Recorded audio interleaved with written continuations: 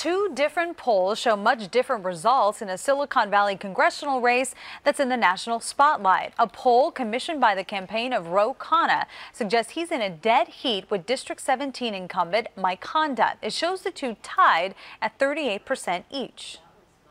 I'm out there knocking on doors, doing town halls, going to every forum. I'm showing up, and uh, he really hasn't been present.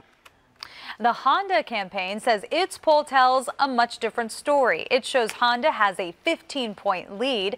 The Honda campaign released a statement that says, in part, quote, Ro Khanna's campaign is clearly getting desperate, which is reflected in the barrage of attack mailers distorting Congressman Honda's record of delivering for his district. Khanna is a political newcomer, but has received a lot of support from the tech industry. Honda, who's seeking his eighth term, has the support of the Democratic establishment, including President Obama. District 17 includes parts of San Jose, Sunnyvale, Cupertino, Fremont, and Newark.